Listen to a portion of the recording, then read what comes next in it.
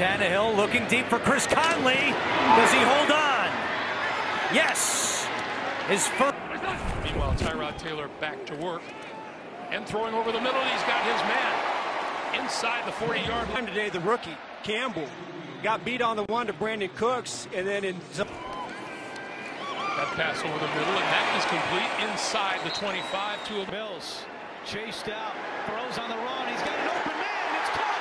Conley, Conley with a first and goal. Is getting and how they were top heavy in throwing him the football. Where you've been able to get Chris Moore involved, now Conley involved, involved, Eclair involved. This has been a much more well-rounded passing game and some really, really big plays. Ingram, it's a flea flicker.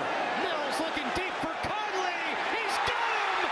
Touchdown. Of football to be played, but to this point, to this point, the Texans have been outplaying. Again, splits his on. Mills gets away and throws one. What a grab!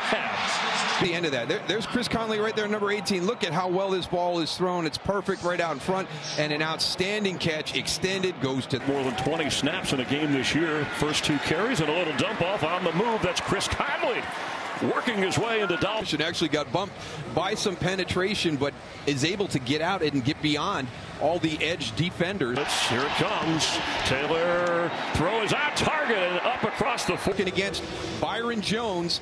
He's up tight. But it's a good release inside by Chris Conley right there. Physical. Get back inside and give Tyrod Taylor a good throwing lane. Mills, he's looking deep down the field again. He's got a man and a touchdown. Chris Conley.